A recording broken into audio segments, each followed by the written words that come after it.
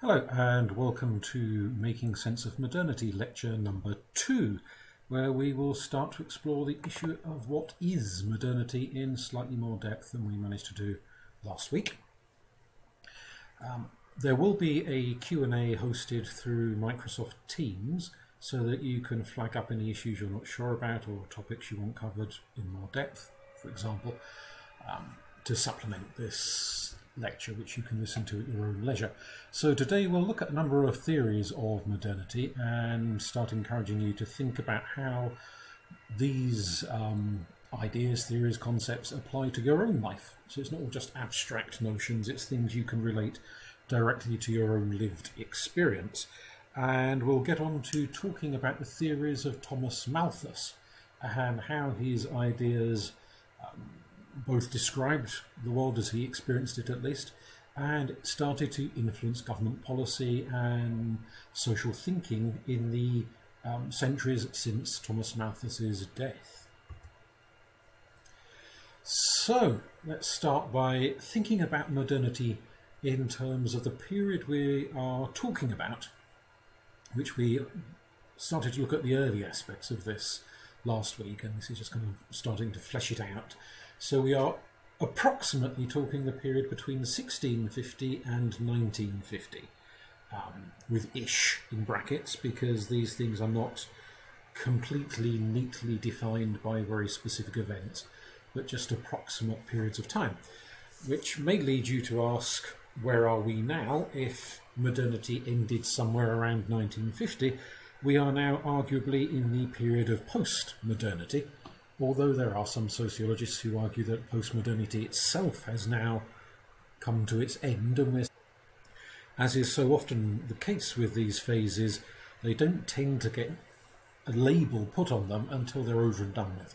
So at the time you're actually living through them, you don't know you're living through them. It's only in retrospect that historians and sociologists and anthropologists and what have you start describing periods of time as this era or that era.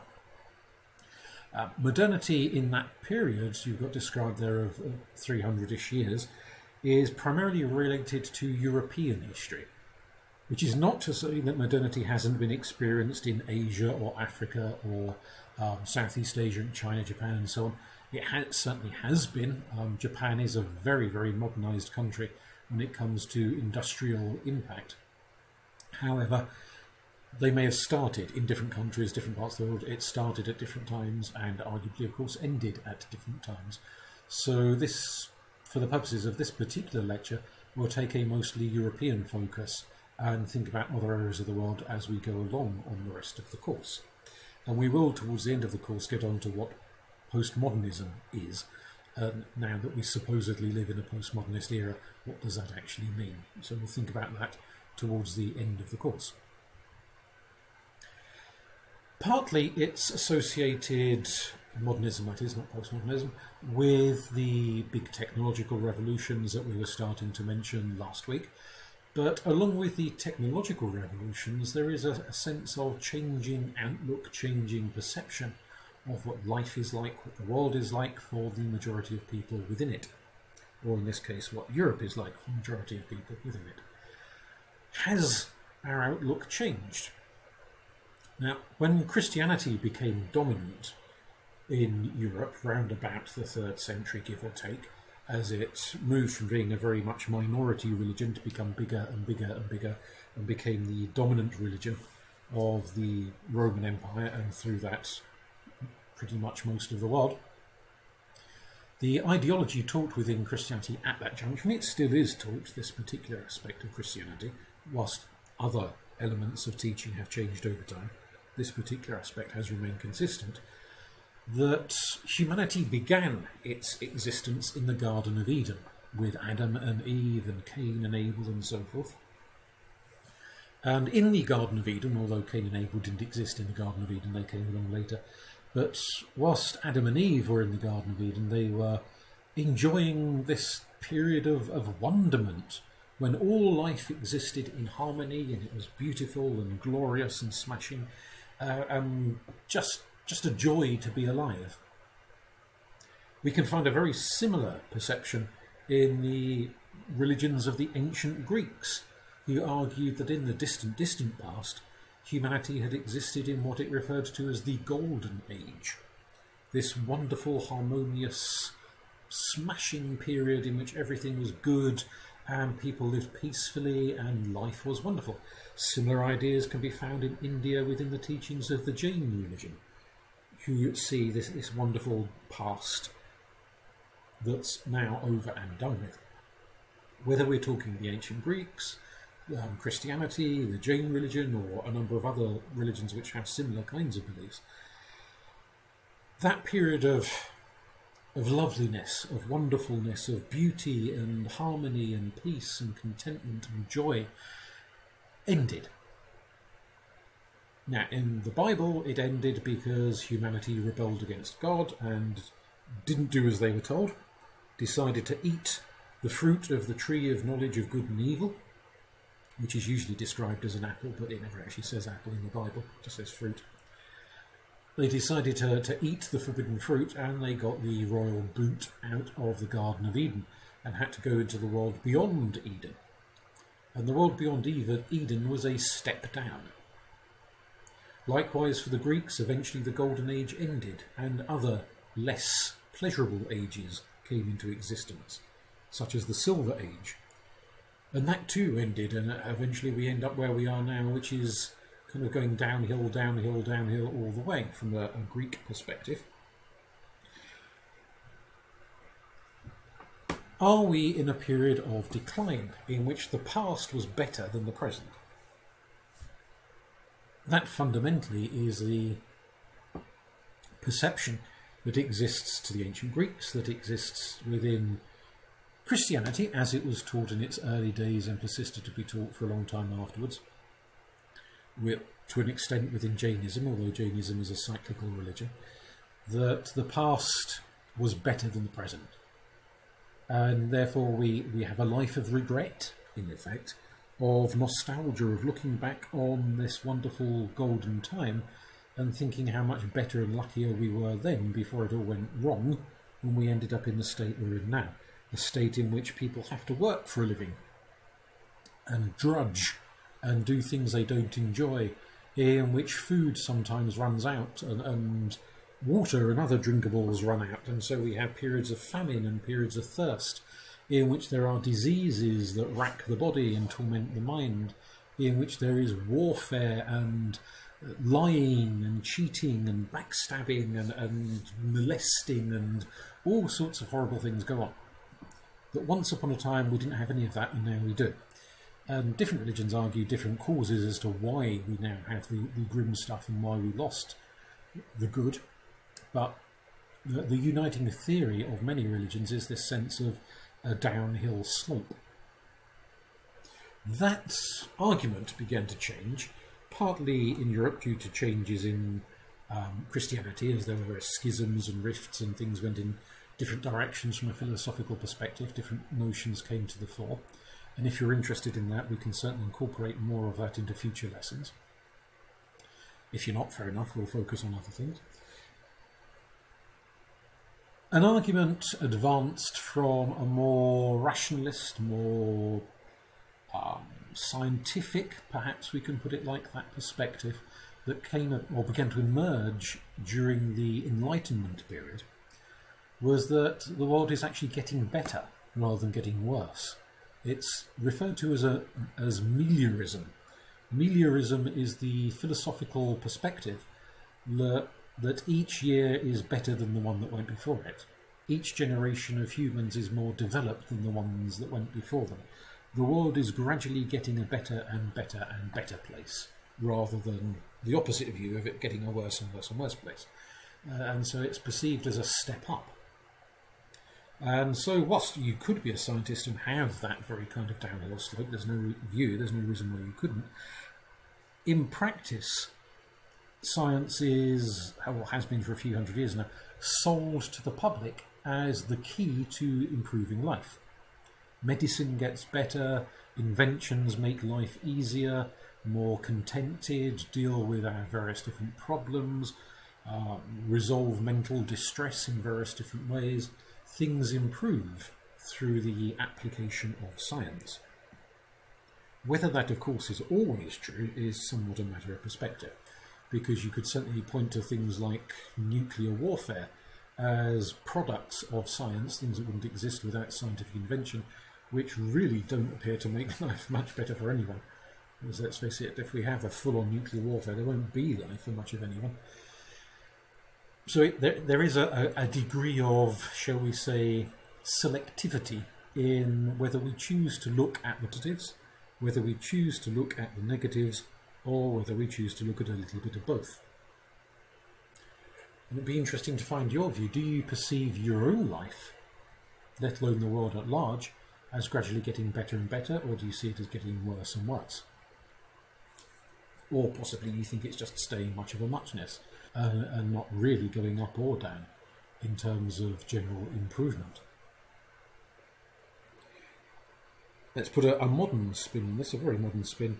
Um, the environmental movements, Extinction Rebellion, various other campaigns around the world often talk about how many years we have left to sort out the world before it's all too late and we have mass extinctions and flooding and famine and plague and doom and disaster and, a general apocalypse of almost religious um, size and perspective. And this is presented as scientific fact that we definitely do have this. It's not just a, a, a guess, a stab in the dark, it's a definite thing that is actually happening. Do you feel that we are approaching some kind of environmental disaster? Or do you think that's scaremongering and actually we can resolve these problems quite straightforwardly um, and that the world will be is getting to be a better place?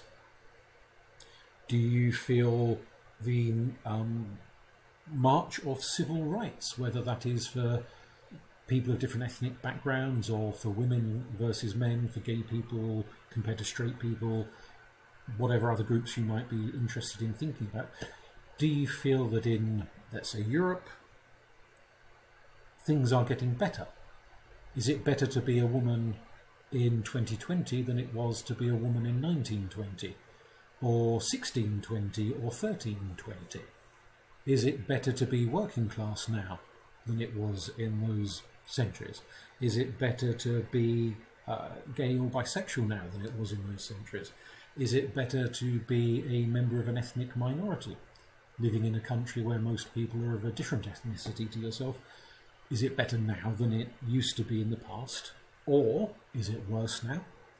Or is it much of a muchness, not largely changed? Because we can understand this notion of things getting better or things getting worse. We really need to break it down in terms of what is getting better, what is getting worse. Is it the technology? Is it uh, political liberties and freedoms? Is it standard of living? Is it healthcare? Is it environmental issues? Because some things may get better and other things may get worse. And overall, we're trying to get a sense of perspective as to where society is going. Is modern, modernity, modernism, something which is an improvement on the past? Or is it a disaster? Or is it a bit of both? this is where we could open to reflection and discussion and get some of your feedback during the Microsoft Teams discussion upon the subject.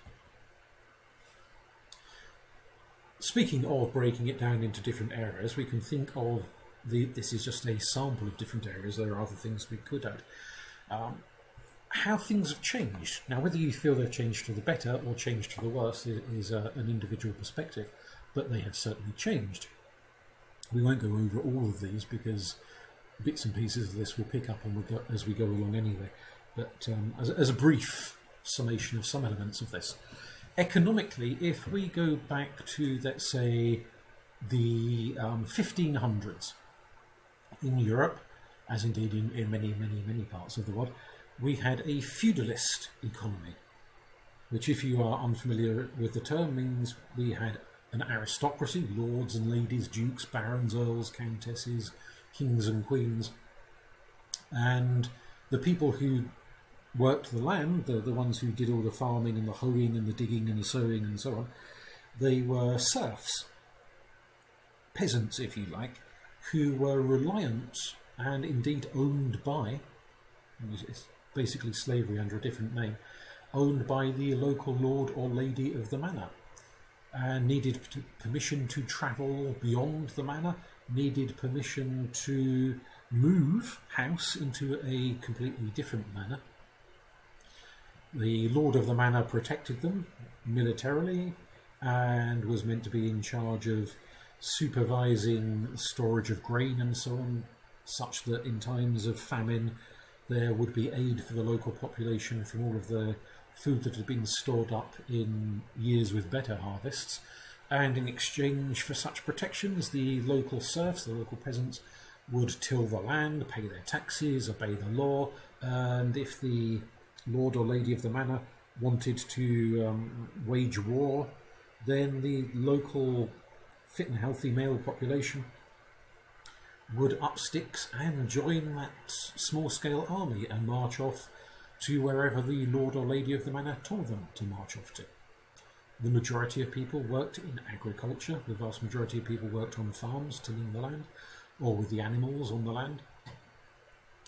Nowadays, of course, modernism we have investment capitalism, in which we, rather than lords and ladies, we have um, supremely rich industrialists who invest vast amounts of money in businesses, setting up businesses which they themselves might not know how to run the machines in the factories, but they hire in people who do and pay them a wage and dictate their hours, when to turn up for work, when to go home, when to have their dinner break, and all the rest of it. And they set the prices of, for what they sell their manufactured goods for. Um, most people these days in the West, and indeed most other countries for that matter, work in industry rather than on a farm. There are still farmers around, clearly, but the vast majority of people work in industry in some form or another. We've gone from periods in, of history, back to the 1500s, of having emperors, kings, queens, a ruling elite, to having by and large an elected elite of presidents and prime ministers with some form of democracy. Certainly in Europe and indeed in large swathes of the rest of the world. There are kings and queens, like our own one around, but for the most part they are figureheads rather than the kinds of dictators that their distant ancestors were. We can cast our votes now. And last week we, we discussed this a little bit, and most of you expressed the opinion that even if you sometimes feel your vote doesn't achieve much of anything, you do value it and would object to some government arbitrarily trying to take your vote away from you. So it gives ordinary citizens a sense of having some clout, some influence, some say in what goes on at a national level, that we are not simply serfs owned by the local lord of the manor, we have freedoms, we have rights, we have protections from the state and from the agents of the state should they start misusing their powers. Does this mean that presidents and prime ministers are completely unlike the kings and queens and emperors of previous centuries? Well, that's one we could debate and discuss in person, perhaps. There are maybe some presidents and prime ministers who act rather like they are uh, the kings and queens of former centuries, but whether we expect them to or not is another issue. Uh, population wise, back in the 1500s, there was a very high birth rate. Most women had 8, 9, 10, 11 children, but equally, most of them would have died very young. Which is still the case, of course, in some parts of the world to this very day, where people have a lot of children and by and large, very, very few of them survive to adulthood.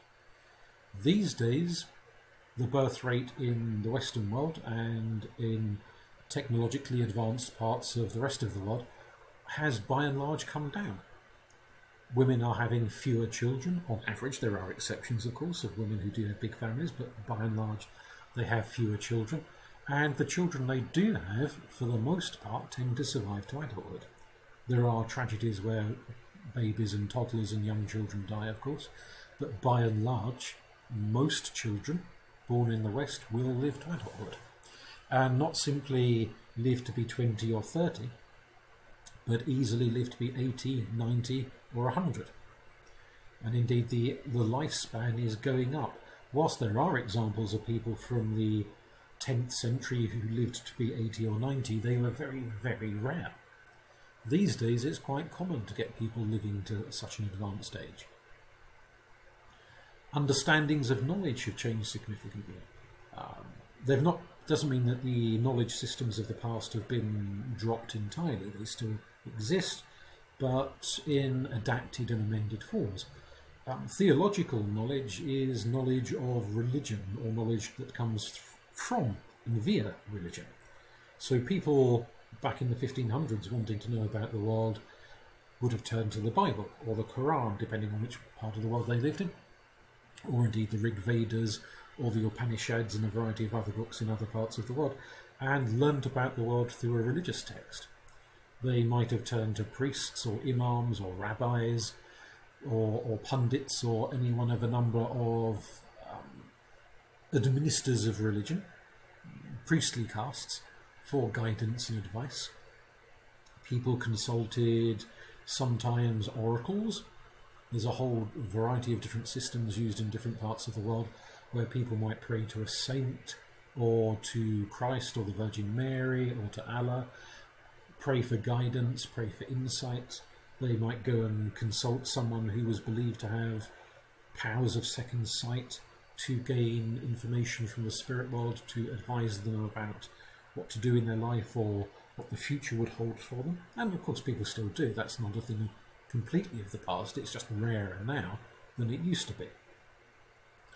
More common now is the scientific or rationalist approach, that rather than necessarily always turning to holy books or priests of one description or another, we tend to turn to scientific texts and people in lab, lab coats holding clipboards rather than people in priestly vestments.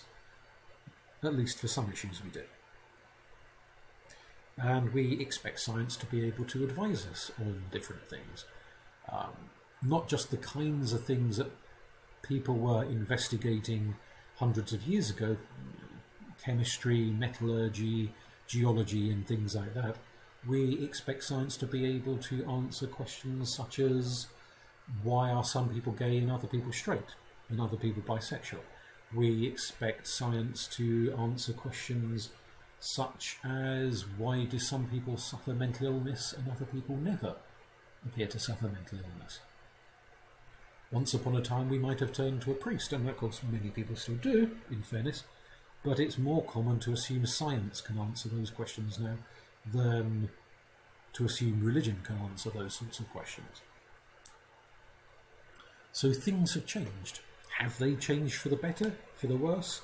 Or is this just a more kind of a neutral change with some, some bits good and some bits bad?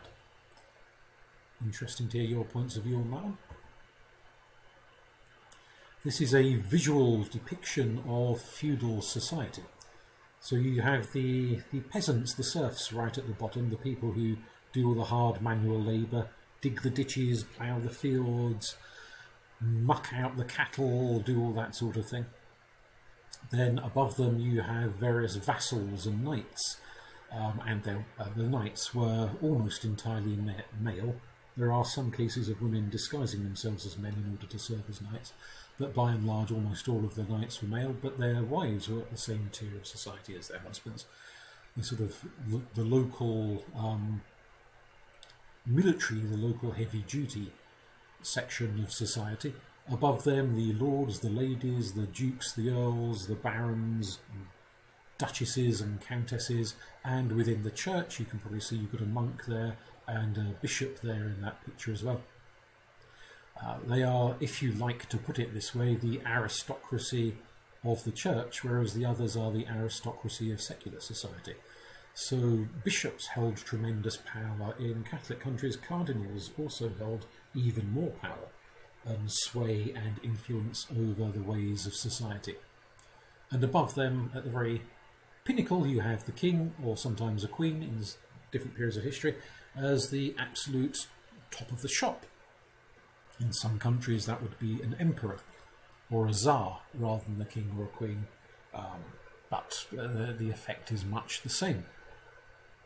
Everyone owes allegiance to the level above them, and everyone hopes that the level above them know what they're doing, because if they don't, things can go horribly wrong. This system is no longer in place, or at least isn't supposed to be in place anymore. Let's put it like that. As we were touching upon a little bit last week, we could ask questions as to quite how much the class system has changed in Britain, or other parts of the world for that matter. Do we still have, rather than peasants and serfs, do we have a working class that does all the heavy duty manual labour? Perhaps these days, rather than knights in shining armour, we have professional classes, academic classes, the middle classes, the doctors, the professors, the barristers, the architects, the people that carry out those more high paid and also often more um, complex in terms of the level of training and education required, those sorts of tasks, and start to inform systems of government above them. But we, we do still have dukes and earls and counts and so forth, but perhaps they don't have quite the same position in society that they used to hundreds and hundreds of years ago. Do we these days maybe have the upper middle classes or perhaps MPs, those in a position to influence politics, shape government policy?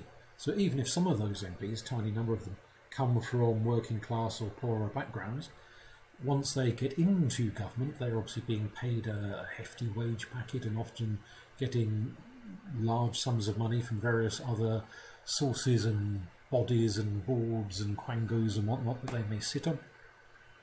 So, whatever their financial starting point in life, by the time they're in government, they are by no sense of the word poor and able to draw on their wealth, their connections, their influence not just whilst they're in Parliament, but also after they retire or lose their seats, or, or just chuck it in and get fed up with it. They still continue to have a lot of influence in society.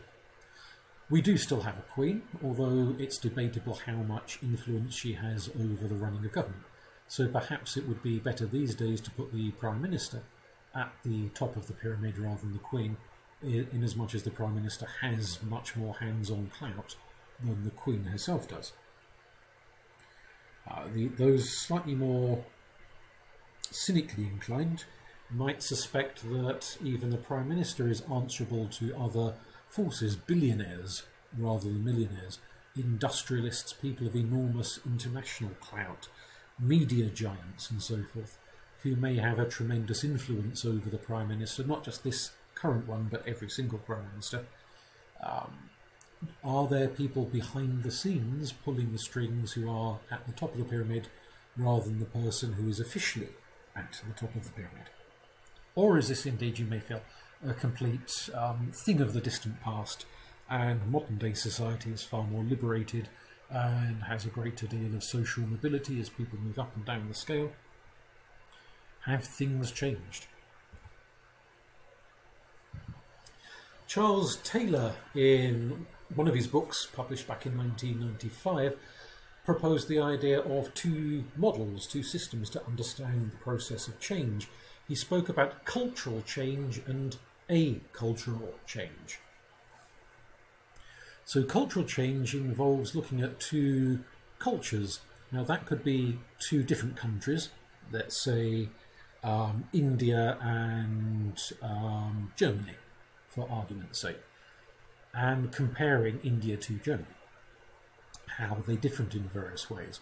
Or it could involve looking at the same country but in different centuries, in different periods of time. So you could look at Britain in the 12th century and Britain in the 21st century. Or, as the example on the screen there, Italy in the 10th century versus Italy in the 21st century, and say, how has this country changed in that long stretch of time? Does it have the same religion? Does it have new technologies? Has the language changed? Do people dress differently? Do they eat differently? Do they have a different social structure? Or the same? And in looking at two cultures in this way, um, Taylor argued not only can you spot the changes and see how they're different from each other, um, how, how they uh, run in different ways, but you can also start looking at possible causations of those change. So you could look at things that happened in Italy between the 10th century and the 21st century. You could look at the Second World War, the First World War, various plagues and upheavals and famines, political unity and disunity and all the rest of it. Acultural change, by contrast, his, his second model, said that, um, again, you, you look at two different periods of history, or you look at two different countries, or indeed broader sets of countries, because you don't have to just look at two countries, you could look at the whole of Europe, for example, or the whole of Africa, or the whole of Asia. You could look at um, broad swathes of countries that are united by features in some way. And then look at big broad shifts. So not only would you be saying, well, do the Germans speak the same language today as they did 500 years ago, but you could be looking at all of the neighbours and thinking what issues have affected not just one country but many countries in this particular period of time or in this particular landmass, such as Europe or Africa or Asia. So it may, I mean, some wars are very localised, they happen in one country and they don't have a great deal of impact on the countries around them. Um, but other wars sweep from one country to the next, to the next, to the next, like the Second World War, which take in half the planet, well, more than half the planet, uh, and impact vast numbers of people. And not just in terms of very destructive things like warfare or plagues that sweep from country to country to country, like the Black Death did. You can also think in terms of technological revolutions such as the Industrial Revolution, which went across the whole world, or the artificial intelligence revolution, which we're experiencing at the moment, which is flowing across the whole world. But you can also think in terms of philosophical change, like the move towards rationalism, or when Christianity first arrived in the world, or when Islam first arrived in the world and began to spread from nation to nation to nation, and how an idea can have a huge impact not just on one country, but on many, many, many countries and it's this rather than the kind of small approach of cultural change, acultural change takes in a much bigger picture. and places uh, change in a very broad context of how it impacts lots of countries rather than just one or two countries.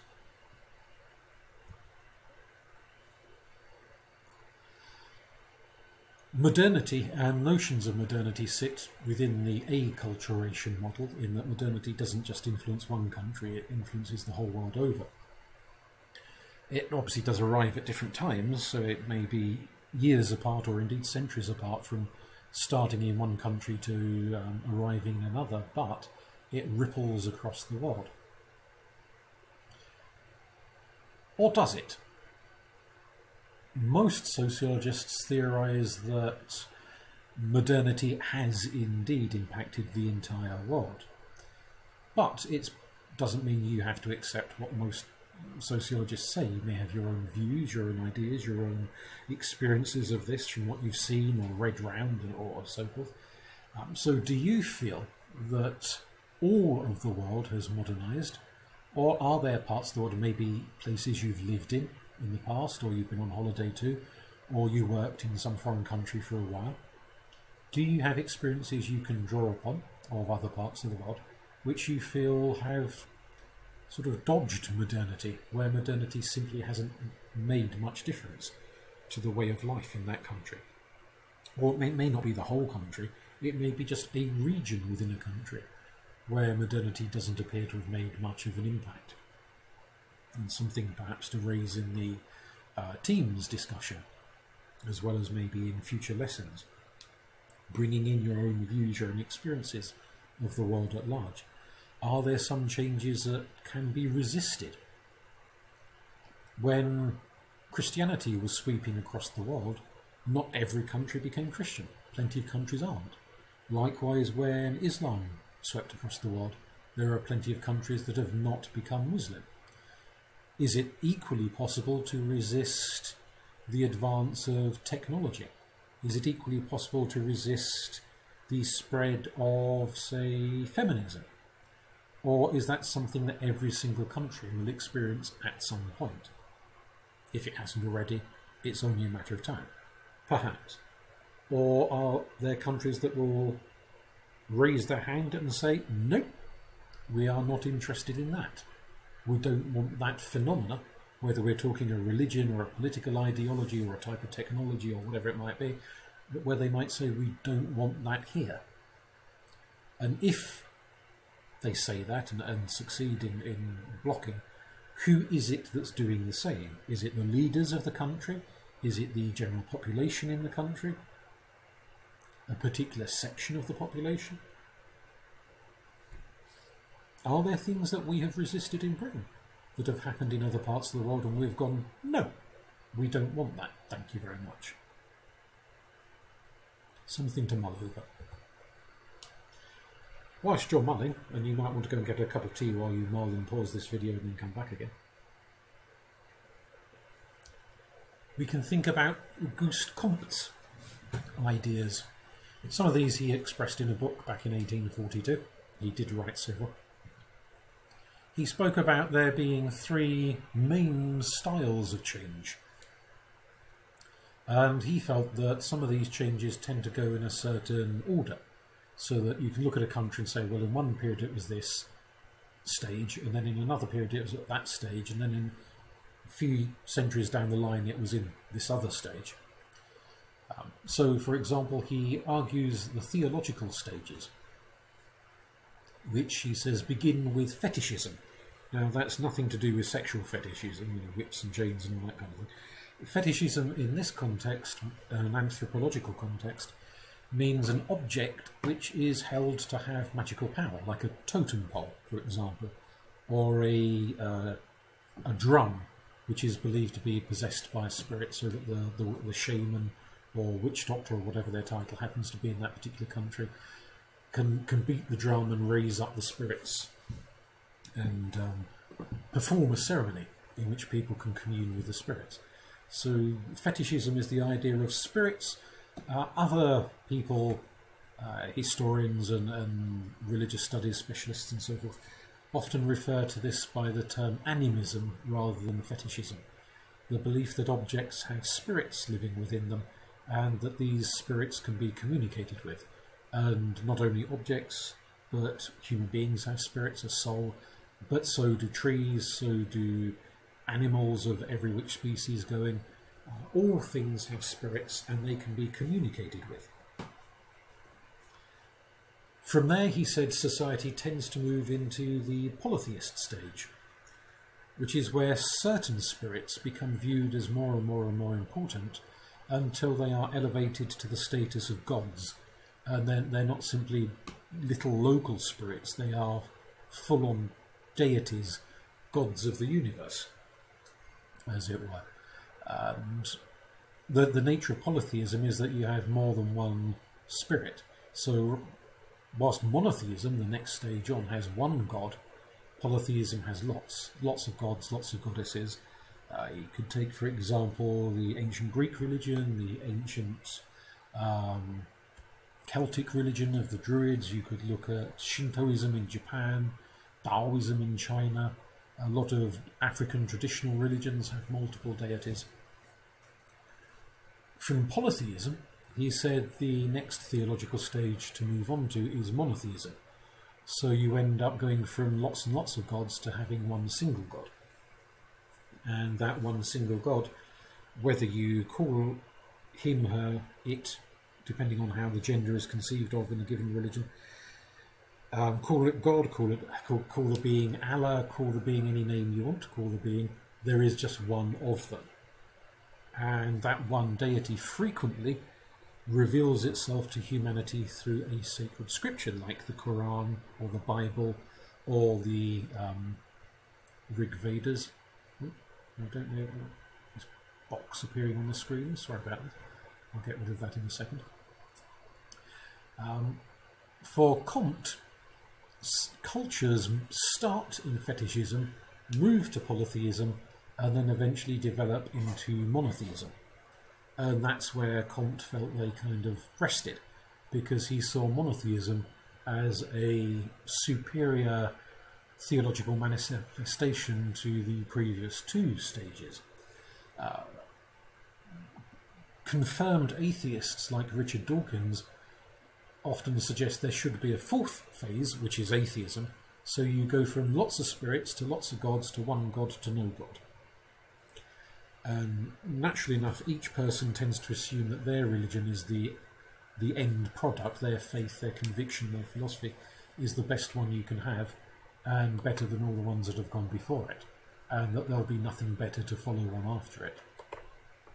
So if we wait around long enough, there might be someone suggesting a fifth theological stage after atheism that will be some other ism. It's worth noting that, of course, this doesn't pan out historically. We can look at countries, Britain is an example, where we can say in the distant past, Britain used to be polytheist, now it's by and large Christian monotheist. But equally, we can look to other parts of the world that haven't become monotheist and have no intention of becoming monotheist. Other parts of the world where polytheism or fetishism, animism, is still prevalent. So it doesn't always follow in the kind of logical one step leading to the next to the next that Auguste Comte suggested it would. But there are lots of ways of understanding the nature of the universe. Um, possibly we could argue certain of these ways are more closely associated with modernity than others are. Uh, the metaphysical stage is the period in which um, potentially there is a move away from monotheism, although not always. Sometimes it goes hand in glove with monotheism. And the universe is understood less in terms of specific gods and goddesses or a singular god, or indeed a singular goddess, but more in abstract terms of forces, depersonalized forces. So in India and parts of the world with a significant Indian diaspora, the notion of karma is widely discussed. The notion of cause and effect, that for every act we take there is a reaction. We build up both positive and negative karma, and we have to account for this over a period of many reincarnations. So it's it's not karma is not a god. Karma is a force of the cosmos, a force of nature that affects every being within nature. The positivity stage, which Comte describes, is the stage which Richard Dawkins is most contented with. Now, whereas Auguste Comte did not say that the positivity stage had to be full on atheist, Richard Dawkins suggests you can't be effectively scientific and religious at the same time because he sees them in contradiction. It's worth bearing in mind that for the vast majority of human history, up until very, very recently, science and religion went hand in glove. An awful lot of science was produced from within the churches and the mosques and the synagogues and so on, rather than by people outside them. But the positivity stage is the search for explanation, for testing and retesting based on the scientific method. And rather than opening a holy book to find out about the world, you would open a scientific book to find out about the world, or turn to a scientist rather than turning to a priest to help explain the world to you more clearly. Which you could argue is, is pretty much where modern day Britain is by and large in that positivity stage. There are still a lot of religious people in Britain of all sorts of religious persuasions, but government tends to run more so along loosely scientific lines rather than um, religious lines. If, if a, a politician, an MP, wants to justify some policy, they are more likely to justify it using statistics and research and data of a roughly scientific nature than they are to try and justify it by reading verses from the Bible or quoting the Quran or whatever. Um, so the, the, the, turn is towards science rather than towards religion these days. Doesn't mean this that the positivity stage is the end all and be all. There's nothing to, to say that there might not be another stage after that. Time will tell.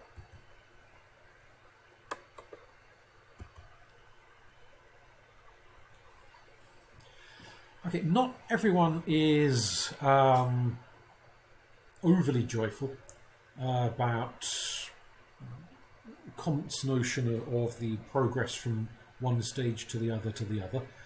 Uh, even within 21st century Britain, we can see the fact that we have all of those stages coexisting at the same time. So, whilst the perhaps majority might slide more towards the uh, positivist scientific frame of mind, there's plenty of Christians, there's plenty of Muslims, there's Jewish people, Hindu people, Buddhist people, there are pagans and Wiccans and Druids and all manner of religious outlooks within 21st century Britain. There are um, Jungians within psychology espousing a metaphysics that sits well in that metaphysics category that Comte described. We have all of these ideas knocking around in Britain, let alone plenty of other countries as well, at the same time. And whilst some of these ideas may only be held by a fairly small number of people within a country, other ideas are held by much larger numbers of people. And some ideas are held simultaneously. So there are scientists who are also Christians, scientists who are also Hindus, scientists who are also Sikhs, who have a religious view and a scientific view at one and the same time. So again, they're not mutually exclusive in the way that Auguste Comte started to think of them as, as kind of society ditches one stage and moves solidly into the next stage. It doesn't work in quite such a, a neat fashion. It, it's a bit more of a coexistence than a, sort of a, a jump, big jump from one stage to the next stage. Now, if you want to use this juncture to pause the video, make yourself a cup of tea or something, cup of coffee, whatever, and mull over this for a few minutes, jot some ideas down on a bit of scrap paper, and then we can discuss them in the Teams um, chat. As to your views of British society, so having asked earlier about your experiences of other countries when you might have been on holiday or living abroad or whatever, um, what are your views of British society?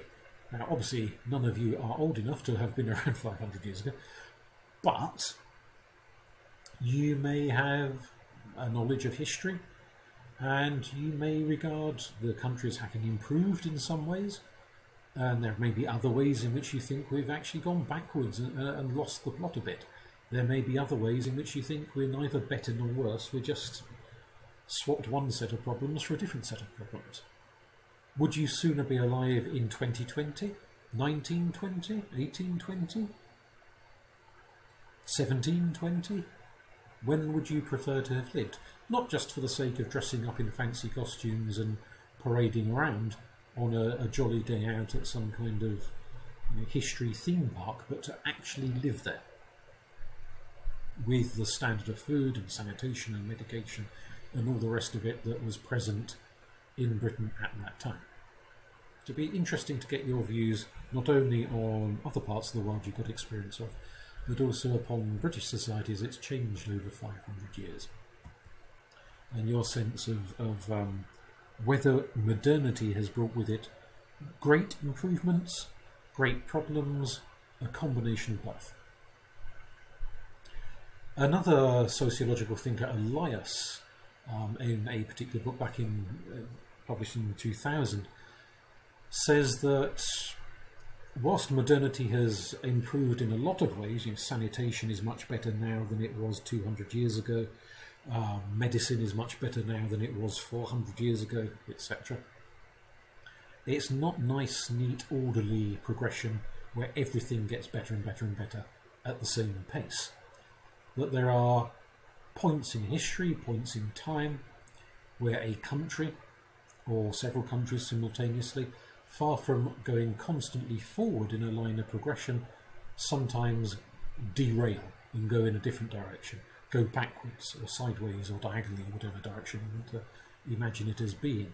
And obviously, the photograph of Hitler there and the members of the Nazi Party is a an example of a country which, um, well, they thought they were going forward, I'm sure, but the majority of other people around the world tend to see that as a massive backward step, where advances and developments, at least in terms of, of civil rights and how people were treating each other at a humane level, their technology may have been improving, but other aspects of their society were just thrown down the drain and things became significantly worse. They're a very obvious example. You might be able to think of other examples from other parts of the world in which society seems to have taken a massive step back. Maybe not forever, but, may, but perhaps for a few months or a few years, where things derailed and we had counter, what Elias calls counter civilization, rather than the progress of civilization. Um, Elias is interested in understanding why sometimes, when everything seems to be getting better and better and better, all of a sudden there is a big upsurge in some political movement, or religious movement, or whatever kind of a movement, and things go massively backwards, and there there are real problems and major social issues for vast numbers of people. What leads a community, whether it could be anything from a small village all the way up to an entire country with millions and millions and millions of people living in it, what leads to this sudden turning backwards, this sudden um, counter movement to progress? Your thoughts on that will be interesting to hear. We'll find out more about Elias's thoughts as to quite what causes these backward movements in future weeks as we look at other examples of periods in time where society has gone very odd.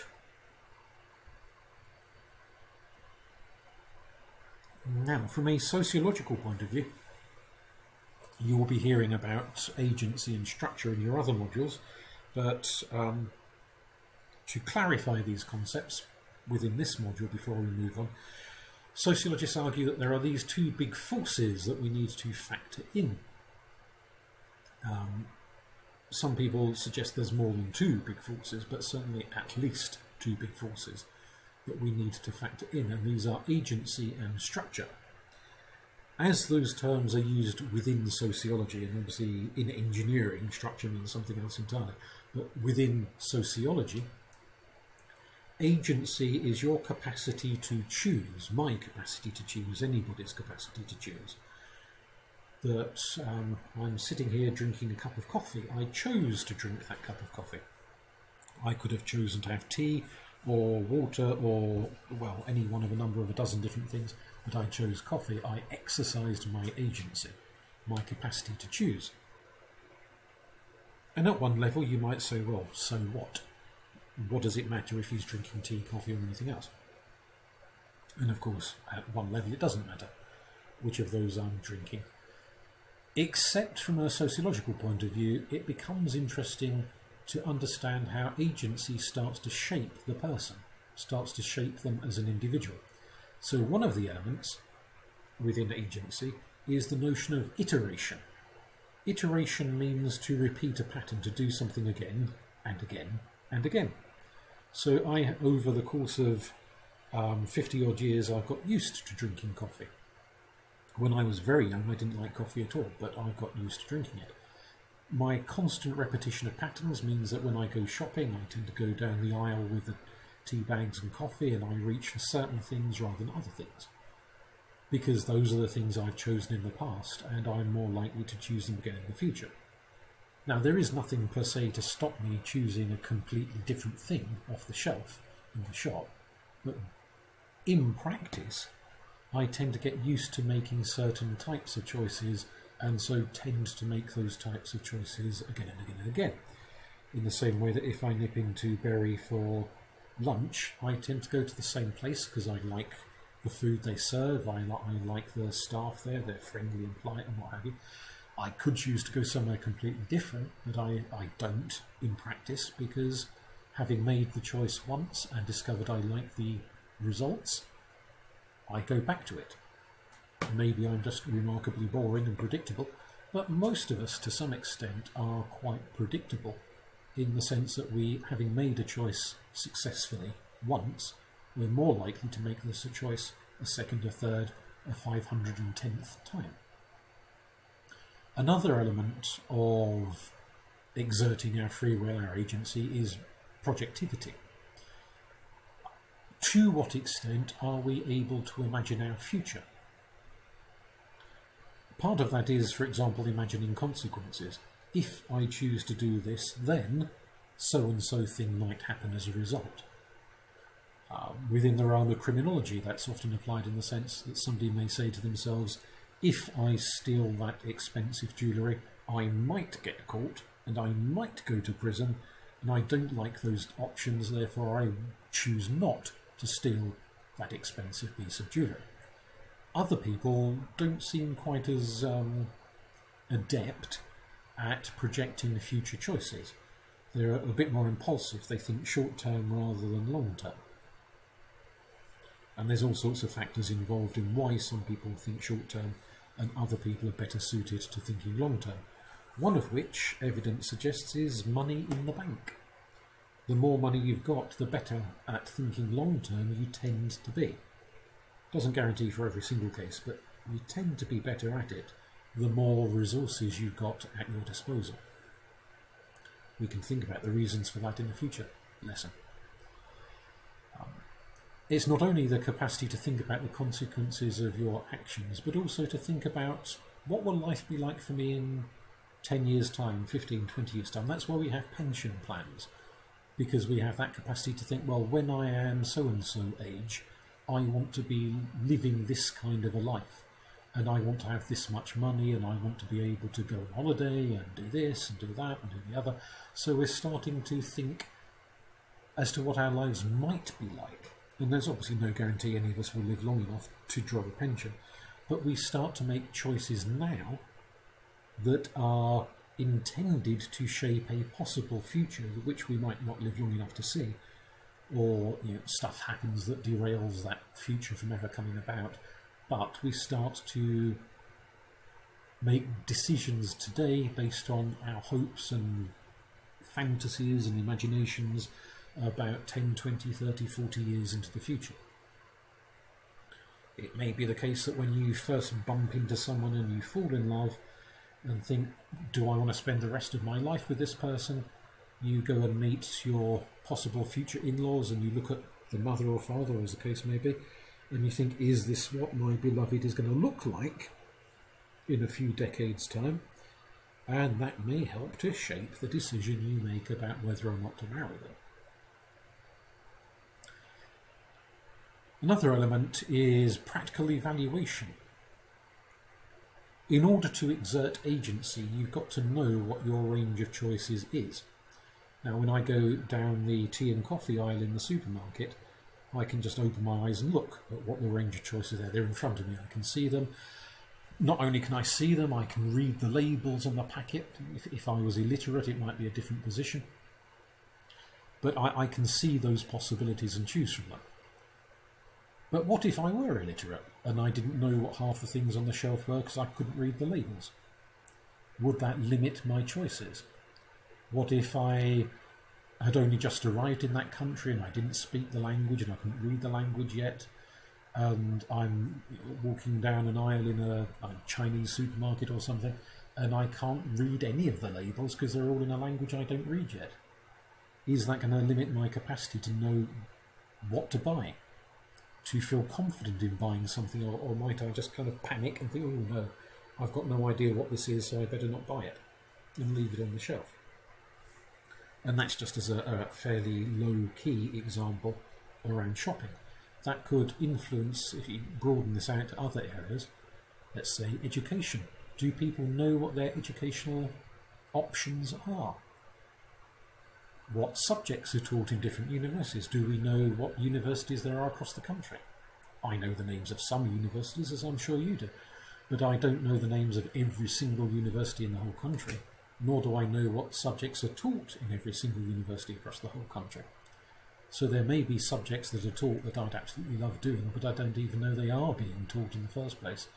Therefore, I've got no option to go and study them because I don't even know they're there to start with. So my range of choice, my, my capacity for practical evaluation, is based upon the amount of information I can access. Do I know what the range of choice is, or do I only know about a small section of the possible choices available to me? Of that section that I know about, what is my understanding of that section? Have I got good insights into what's available, or misguided insights, ill-informed insights, all of that sort of um, factor, the, the, the, interaction between environment and my own experiences and understandings are going to influence my capacity to make choices in the first place. Structure is this is where we're starting to get into the realm of structure, talking about practical evaluation. But structure is the social forces in which each one of us lives and how those social forces push us, steer us, guide us, throw us in certain directions, which makes us subject to those social forces. If you like it, it limits our capacity for choice in some significant way.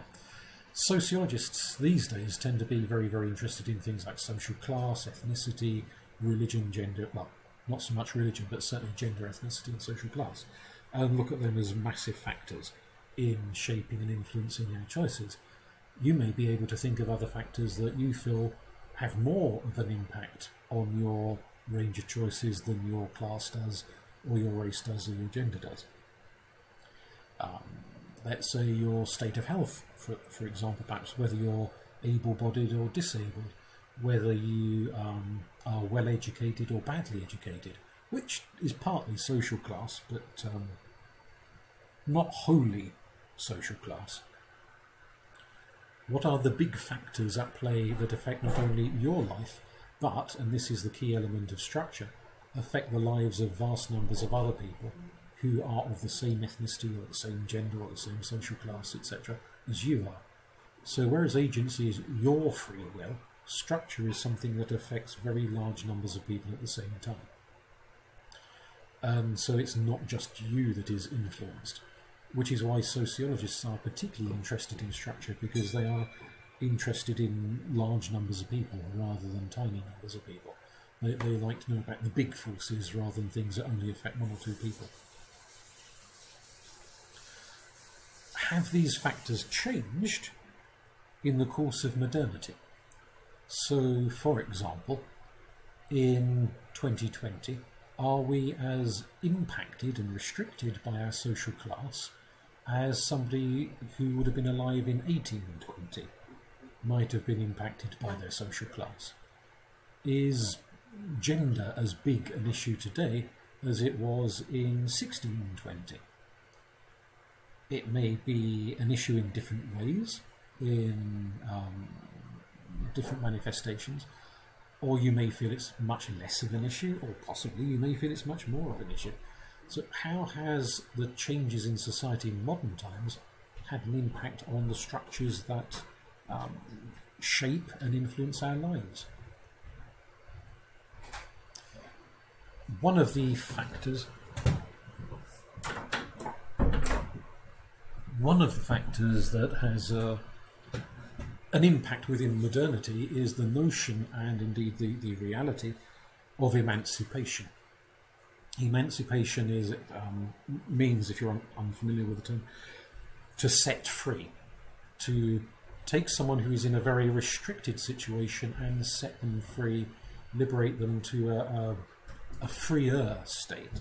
So, if you like, it's reducing the impact of the forces of structure from a sociological perspective on an individual's life so that social class or ethnicity or whatever it happens to be is less restrictive for them after emancipation than it was before emancipation. And obviously, we can think within the last couple of hundred years, you've had the suffragist movement and women getting the vote.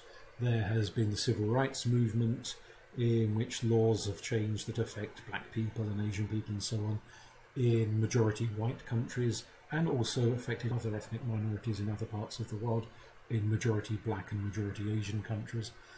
Um, there has been changes in law regarding gay people and bisexual people, all sorts of changes that, in some countries at least, have produced greater freedom for people than they had before, as the nature of the social structures they live within changes. And so we could potentially make the argument that a key central feature of modernity is the granting of more freedoms, the extending of emancipation for different social groups. Is that the end all and be all of modernity? Could you have modernity in countries that don't want to see emancipation for specific groups? So if there's a country which the authorities say, well, we don't want the same rights for women that you have in, in these other countries, but we do want the technology and we do want this and we do want that, can they still have a form of modernity whilst resisting social emancipation? Or do the two go hand in glove? Is emancipation automatically a good thing for everyone, or does it sometimes cause problems? Bear in mind that a lot of the um, people opposing uh, the vote for women in the early days of the suffragette movement were themselves women. It wasn't just men opposing it, sometimes there were women as well. Um, there have been um, black people in America who have been very critical of some of the uh, movements um, made within supposedly to liberate um, black people and change their situation. So, for example, um, the black economist Thomas Sowell suggests that the move made some decades ago now by the American government to um, change the Minimum Wage Act to, to raise the minimum wage so that people in very low paid jobs got paid more. Supposedly, at the time that change was made, um, the government of the day advanced the idea that this would be for the benefit of black people and Hispanic people and so on in America, who tended by and large to do the very low paid jobs.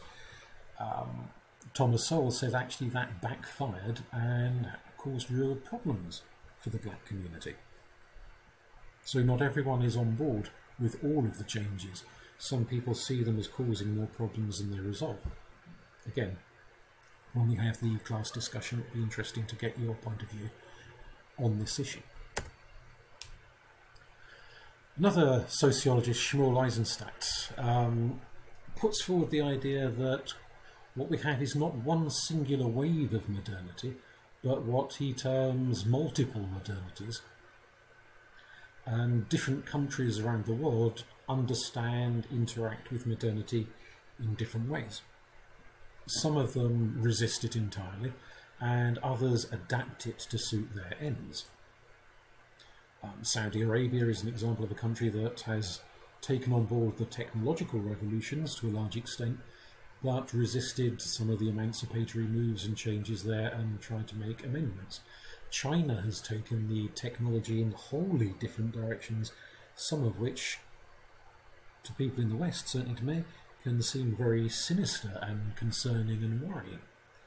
Um, the feminist movement in India has a very different understanding of what feminism means to the feminist movement in Britain, for example. So there, there's lots of different examples of ways in which Western assumptions about how modernity has to be don't pan out across the entire world, in which there are different understandings. Are some of those understandings better? Or worse, or just simply different. Something to think about, research into, find out bits about other countries, and, and if you have no pre existing experience of them, and explore these ideas as we go along. Um, Eisenstadt says that as time rolls by, bearing in mind this is back in 87, so it's already happened in a sense, as time rolls past, these different approaches to modernity will spread in other words, the West won't just impose itself on the entire world. Other parts of the world, more and more overtly, will do things differently. And maybe the West will come to do things differently, given sufficient time. We'll consider the impact of Marxist views as we go along, uh, but to, to, touch a little bit on them at the moment, uh, we've already mentioned the shift. Marx was very interested in the workplace and the idea of who owns the means of production, whether it's the workers themselves or an upper class elite exploiting the workers, and, and various arguments around that um, vein. But we have already looked at this idea of the shift from a predominantly agricultural economy to a predominantly industrial economy, which lends, its, lends itself to a Marxist interpretation because Marx's ideas only developed in the wake of industrialization.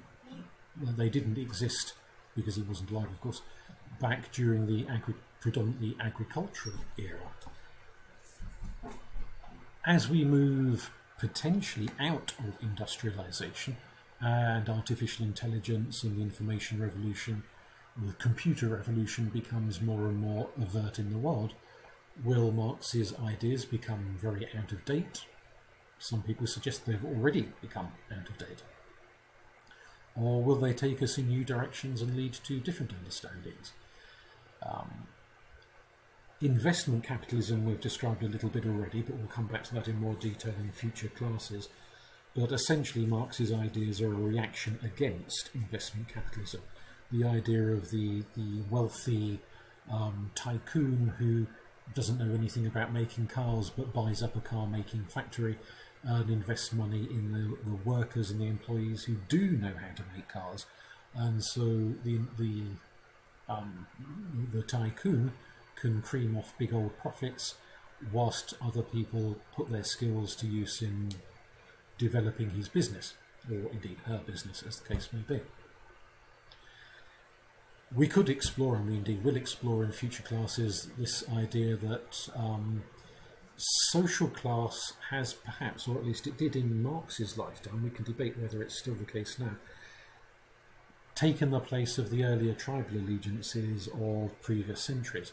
So at an earlier juncture, people would have been very, very conscious of which tribe they lived in and very conscious of which tribes other people lived in and form allegiances accordingly. As the tribal systems began to break down with the Industrial Revolution, social class became a more prominent issue, the notion of class consciousness, which Karl Marx argues is key to liberating people from oppressive circumstances, came to the fore. And not just class consciousness for the working classes, but you can see examples of class consciousness amongst the middle and upper classes of looking after their own vested interests and seeing people from other classes as almost like a rival tribe rather than fellow members of the self-same society. But that's going back 150, well, over 150 years to look at those ideas. Can we still understand them in 2020? Is social class a massive issue in Britain today, or has it faded into the background?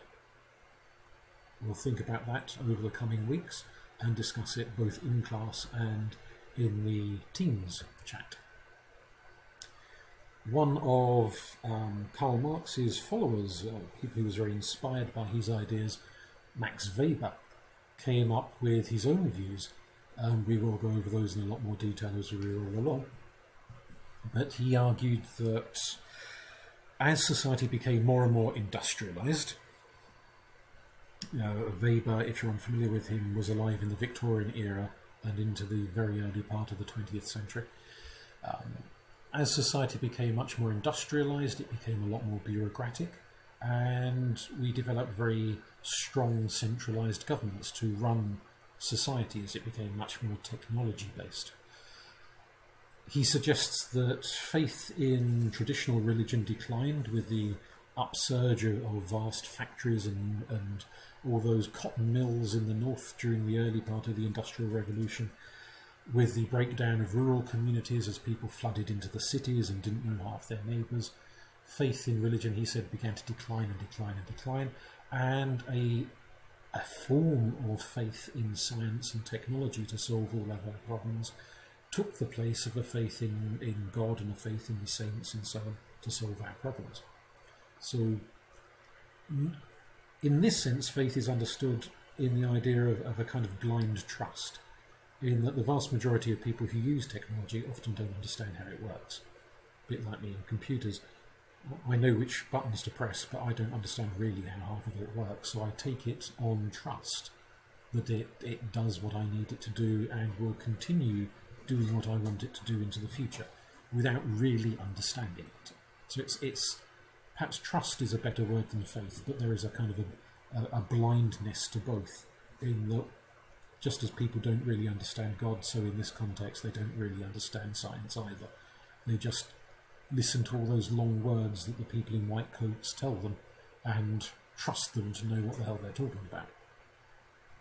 He argues that um, with the decline in religion, we get a decline in, in wonder, in the sense of life being marvellous and magical, and there being pixies in the forest, and um, the, the, chance to meet with our long dead ancestors when we get to the afterlife. Uh, a faith and a feeling that life is somehow magical and special. Uh, he refers to that quote from the ancient Roman writer Tacitus there omne ignotum pro magnifico. Everything seems wondrous when unknown. But if you don't understand the way the world works, everything feels magical. And that sense of magic makes life better. Now, has science just done away with that sense of magic and we now live in this easily explainable, somewhat dull world in which vast numbers of people are on antidepressants because life is so ch challenging? difficult and, and, and disheartening at times? Or have we replaced one sense of wonder, the wonder at nature, with another sense of wonder, the wonder of technology, because we don't understand it either? And because technology is largely an unknown thing, we, we, it all feels a bit weird and wonderful and magical. Do you feel technology is weird and wonderful and magical, or or not? skipped one there. Um, that chap in the painting is Thomas Malthus, who was a vicar uh, back in the 17 and early 1800s. As well as being a vicar, he also wrote books on economy and advanced a number of ideas. We won't look at all of them, we'll just look at a couple of ideas today because other ideas we can think about later in the course. Uh, one of the ideas he advanced reflected his concerns about the size of the population and obviously the population, he was British, the population of Britain is way bigger now than it was in the, the, late 1700s, so Lord knows what he would make of today's society. But he was really worried about the vast numbers of people cramming into cities, the spread of disease, um, the lack of sanitation, that there were loads and loads and loads of people starving to death or coming very close to starving to death in the streets because there wasn't enough food to go around um, people having way more kids than they could afford to look after, all sorts of concerns he had, which many people still have today, of course. Um, he was of the opinion that nature takes care of itself, in that plagues and famines and warfare and so on happen and reduce the numbers, and therefore society will balance itself out. Whereas if he, um, people in charge, and he was thinking partly of the church, of which he was a member, but also government, if they go out of their way to try and help people, soup kitchens for the starving and so on, then rather than those numbers evening themselves out, they will artificially grow larger and larger because people are being kept alive despite the fact that nature is doing its best to bump them off which he felt was not good in the long run. That it would be better to leave the vast numbers to be reduced through what you might term natural wastage until nature had found its own balance where there would be no more people in the world than the resources could sustain than to bend over backwards to keep vast numbers of people alive against the odds. So not the most charitable soul in the world, you might think. But, despite his lack of charity, his ideas had a massive impact on society at the time and in the, the centuries since. Now, he died a couple of years before the Irish potato famine happened. But even though he was dead, his ideas were still very prominent in government. So when the Irish potato famine was happening, happening, uh, just to clarify for anyone who's not very familiar with that period of history, um, vast numbers of working class Irish people depended on farming their own potatoes in order to feed themselves, as well as to sell off the extra for profit. Then a, a blight came along that affected potatoes and wiped most of the potato crop out for several years. And whilst the middle classes and the wealthy people in Ireland had lots of other vegetables and, and you know, cows and pigs and sheep and whatnot to eat as well, poor people really pretty much only had potatoes. So when their potatoes were gone, they couldn't afford to eat anything else, and they couldn't grow anything else on their land because they didn't have the money to go and buy seeds for other types of plants and so on. So they basically starved.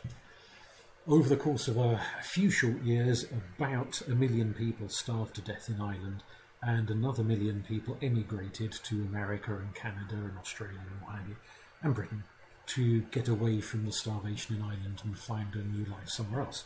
So the population of Ireland in the space of a few years dropped by about 2 million people. The Irish government turned for help to the British government and said, What do we do? And various different people within British government had different ideas. There were those who very much wanted to help and who would go and set up soup kitchens, like the Quakers did, for example, ran soup kitchens in Ireland during the famine. Um, the Sultan of Turkey sent large amount of money over to the Irish. Um, one of the Native American tribes in America had a big old whipland, the Choctaw, and they sent a lot of money to Ireland, even though they had hardly any of their own. Um, but the loudest voices in the British government were heavily influenced by Malthus's policies, and they said quite openly, if you feed people with soup kitchens and that sort of thing, they will get lazy. They won't sort out their own problems, they won't get off their backside and get get on their metaphorical bike and find a job. They'll just sit there with their hand out expecting to be fed and fed and fed. And therefore charity is a bad thing because it's being doled out to people who will not then sort out their own problems. And so the British government, because of these very loud voices, eventually opposed all kinds of charity moves and money that was donated from various causes mysteriously disappeared, so nothing much changes into the modern world, um, and didn't make its way to the starving people who needed it. Because of largely because of Malthus's ideas, this notion that things like famines and plagues are nature's way of taking care of the excess population, and that any interference in this by well-meaning people causes more problems in the long run than it cures. So this this is a sort of a, mo a modernist approach, if you like, one of the grimmer features of modernism. And even though a lot of people these days have probably never heard of Thomas Malthus, you can see echoes of his opinions being spouted by different politicians the world over, and not just politicians. You can hear it from conversations down the pub and at bus stops and all that sort of thing. So these are widespread ideas that have outlasted the name of the person who put them into the public arena in the first place. The quote there, um, if they would rather die, they had better do it and decrease the surplus population, is not, I'm hoping you will instantly recognise, from Thomas Malthus himself. It's from Ebenezer Scrooge, who, as a character, was heavily influenced by the views and opinions of Thomas Malthus. So Dickens, when he was writing A Christmas Carol, kind of based Scrooge on Thomas Malthus's attitudes and outlooks to quite a large extent. Um, Malthus did say that there were two main ways of um, controlling population size. What he termed positive checks, so things like disease and warfare and so on that would wipe out big numbers very quickly, but also preventative checks, things that you could do to stop people being born in the first place, like you know, distributing condoms or getting large numbers of people to be celibate, that sort of thing, through through religion, chiefly. Um, and that would help. Now, he said he felt the preventative measures were kinder in the long run because obviously they don't involve large numbers of people dying, it's about stopping births rather than ending lives. Kinder, but often quite difficult to implement. So his ultimate idea was to have a lot more preventative measures in society, if possible, to reduce the overabundance of numbers. Now, this is the overabundance of numbers amongst people who cannot support themselves because they lack the resources. So fundamentally, if you were very rich and you wanted 20 kids, you could have 20 kids because you were rich enough to feed them all. If you were dirt poor and you couldn't afford to three, feed three children, then you shouldn't have three children.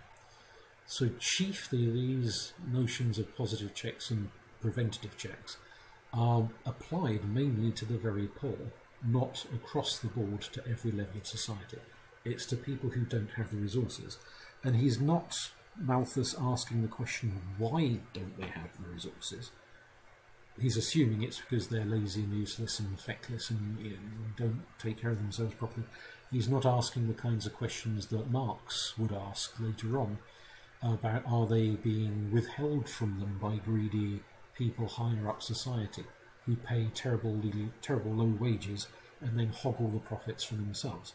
So is whereas Marx saw this as more of a problem of unfair distribution of resources, Malthus saw this as more the individual weaknesses of people who drank too much, had too many kids, couldn't keep a job down, all that sort of thing. Um, Foucault Michel Foucault, a sociologist who became very, very famous in the 60s, 1960s that is. Um, we'll be looking at him in a lot more detail as we go along. He picked up on these sorts of ideas and talked about notions like positive checks and preventative checks using the term biopolitics to describe the ways in which people in power develop policies to encourage things like birth control, limit population numbers, um, regulate the size of the population. So when it gets too low, they try and push the population up, and when it gets too high, they try and push the population down through the use of politics and policies. Achille Mbembe is a Cameroonian philosopher, still alive, very much influenced by the teachings of Foucault, who added his own ideas, which he called necropolitics, and said that governments not only regulate things like birth rates, and how healthy the population is by whether or not they run free clinics or whether they, they make healthcare a paid private thing. But they also regulate death rates by um, choosing not to look after certain groups of people and so effectively just leaving them to die. For example, homeless people or going out of their way, indeed, in some governments, some cases, to slaughter large numbers of people, like the, the Nazi government did with the Jews and the Gypsies and disabled people and so on, um, bending over backwards to reduce the number of certain sectors of society. So it's not only about the management of life, but also about the management of death. But we will explore Mbembe's ideas in more depth as we go along in the course not just this week, but next week too. Now, speaking of next week, something I'd like you to do, now I've mentioned this quite a few times already, but um, whereas so far we've been talking about the idea of is society in general getting better, getting worse, etc., and it's all been at a very generalised level, I'd like you to, ready for discussion in class next week, jot down a bit of paper somewhere, details of your own life whatever age you are, you will have seen changes. During the course of your life, have the changes in politics, in technology, in healthcare, in philosophy, religion, education, all sorts of areas, have they made your life better? Have they made your life worse? Is it been a bit of both? Is your life better now than it was 10 years ago, 20 years ago, if you're old enough, 30 years ago? 40 years ago? Is it much the same? Is it a lot worse than it was? I suspect in most people's cases it's going to be a mixture of the good and the bad in different areas of life. But start to think about the direct impact on your own life And you can also maybe think about the direct impact on family, on close friends, where you've seen people whose lives have either been made much better or, or potentially much worse by changes that have happened over the course of the last few decades. And then we can kind of bring that personal element. Now, obviously, it's a big class, so we're not going to be in a position where everyone gets to put their two penneth worth in, otherwise, there'll be no lecture at all. But we can scatter a few ideas in next week and a few more ideas in the week after that and the week after that. So, over the course of the remainder of the year, everyone will get the opportunity, if they want it, to talk about how these changes are affecting you directly. Speaking of which, we're now at the end, which will be a relief, no doubt, to most of you, certainly a relief to my throat. Um, next week, back in class for a normal lecture, and we'll be picking up on this idea of how these big sociological concepts apply to everyday life, to ordinary people, not just these grandiose ideas, but how they boil down for us on a day to day basis. And we'll talk about the, the notion of individualism the notion that we are individuals, which not all societies have held, in fact, the vast majority haven't. And we'll talk about the ways in which that affects things like politics and agency, the capacity for choice. Uh, it's, kind of the difference between you, you deciding who you want to marry and your family arranging a marriage for you. Are you an individual or are you a member of a collective? And we'll start to think about how modernity affects men and women in slightly different ways and the kind of gender relationships that go on there. Um, and we'll explore that then. So I'll see some of you at least in the um, Microsoft chat. That's the chat is mainly aimed at those of you who um, have questions or just feel like social contact as much as anything else. If you've got no questions at all, then you, you don't particularly need to take part in the chat. But if you do, it would be nice to see you there uh, and we can have a bit of a banter going about these ideas. Take care and speak to you soon.